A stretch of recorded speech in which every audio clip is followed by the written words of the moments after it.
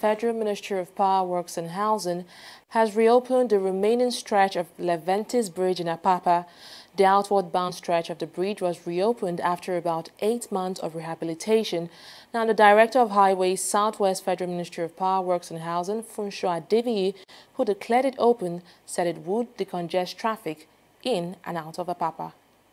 This bridge the, num- the volume of traffic that passed through this bridge per day is best imagined.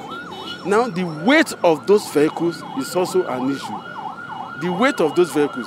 This is the main access into Apapa Wharf. The heavy duty vehicle that comes out from here are passing through this bridge.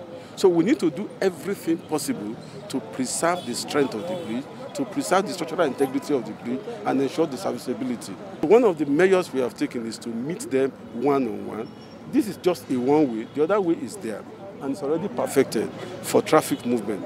Okay, so we're already talking with them. We won't have that gridlock again.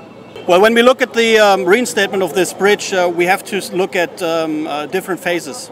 Initially, uh, an in-depth survey was done on this bridge that suffered some fire damage uh, uh, some time ago.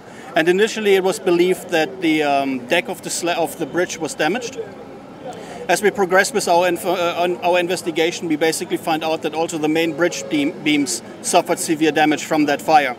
So we had to revise the approach and also the schedule, and basically um, came up with a technical uh, conclusion that also the main bridge beams have to be replaced. Our in-house expert, as well as external experts, obviously did all the necessary quality checks on the material that we installed here, starting from the reinforcement, um, and then continuing to um, preparing extra set of concrete cubes so that we're really guaranteeing a continuous and, and comprehensive quality control management here on this project.